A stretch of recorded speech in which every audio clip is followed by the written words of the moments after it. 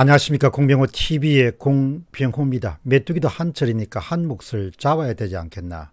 7월 14일 날 한겨레가 특종 보도한 탁현민 최측근의 청와대와 정부 행사 22건 수주라는 그런 제목의 기사는 세간의 이목을 끌기에 충분합니다. 친여 세력과 비교적 좋은 관계를 유지해왔던 한겨레의 특종 보도란 사실이 많은 사람들의 눈길을 끌었을 것입니다. 다른 한편으로는 지금 와서 뜬금없이 탁현민 뉴스일까라는 그런 의구심도 또 눈길을 끌었을 것입니다. 횡렬라도 박 전 시장 사건에서부터 관심을 돌리려고 하는 그런 시도는 아닌가라는 그런 의문을 가진 사람들도 꽤 있을 것입니다. 첫 번째 질문 탁현민 측근들입니다.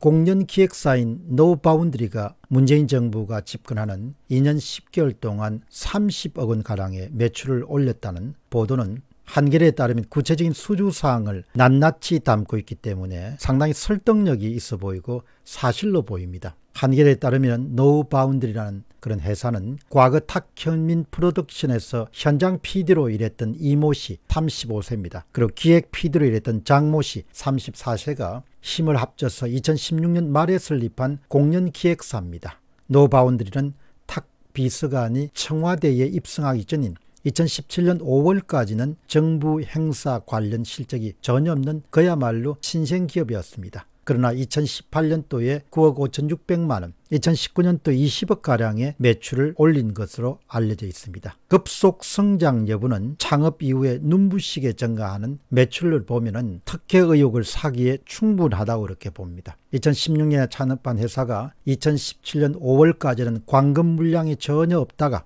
2019년대 무려 20억 원까지 수주했다면 이것은 특혜를 받았다 그런 의심을 사기에 충분하다고 봅니다. 우연의 일치라고 보기에는 너무 이상한 점이 꽤 많습니다. 문 대통령이 직접 참여하는 굵직한 행사가 여러 건 있었습니다. 이 가운데 다섯 건은 법인 등기를 하기 전에 수주했다는 사실을 한겨레는 정확하게 지적하고 있습니다. 계약 형태도 대부분 수의 계약이었습니다.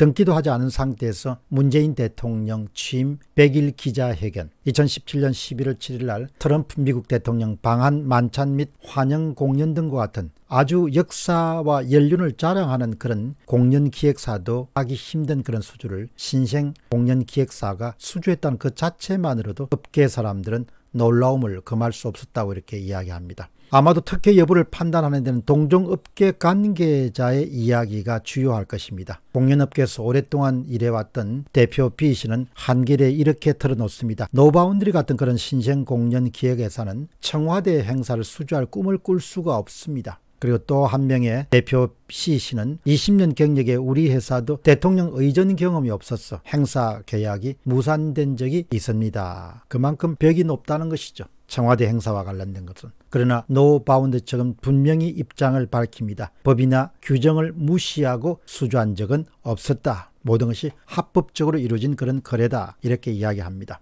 아무튼 현재 노바운더리란 신생 기획사의 두 명의 대표는 탁현민 의전 비서관과 오랜 그런 친분을 갖고 있는 굉장히 각별한 관계인 것은 분명합니다. 탁 비서관 2013년 5월 달에 쓴 산문집 흔들리며 흔들거리면서 이 씨와 장 씨에 대해서 아무것도 모를 때 들어와 맞지만 않았지 온갖 욕을 쳐들으면서 꿋꿋하게 버텨준 이들이다. 이러니까 대단히 그 친분 관계가 깊을 것이고 뭐 같은 값이면 호흡이 맞는 친구들한테 주고 또 그 친구들한테 또 도움을 주는 것이 올바른 것이다. 아마 그렇게 또 추측을 할 수도 있겠죠. 그리고 액수가 한 30억 정도가 2년 6개월 정도에 그러면 아주 큰 액수는 아니죠. 다음은 우리가 알아야 할 일입니다. 사실 권력을 잡는다는 것은 그것은 10년 집권이든 20년 집권이든 간에 결국은 그 잡은 사람들이 더 많은 이익을 갖는다는 것을 뜻할 수도 있죠. 그렇기 때문에 정치 권력을 장기 집권할 수 있다면 이와 같이 이익을 나눌 수 있는 이익을 중심으로 해서 일종의 연대가 형성된 이 카르텔은 더욱더 공고할 수 있음을 뜻하게 됩니다. 탁현민 의전 비서관의 척건들 회사가 거둔 뭐 30억 은 없는 사람한테는 굉장히 큰 돈이지만 또 있는 사람한테는 별로 큰 돈이 아닐 수도 있죠. 그리고 광급 물량의 기준으로 보면은 아주 큰 그런 액수는 아니라고 봅니다. 다만 액수의 크고 작음에 관계없이 잘 아는 사람, 뒤를 봐줘야 되는 사람에게 발주한 그런 사업이란 점은 분명한 것 같습니다. 그래서 타계민 또 의전 비서관이 문 대통령의 측근으로서 또 많은 사랑을 받고 있기 때문에 이 부분을 파헤치지 않았냐 그렇게 생각합니다.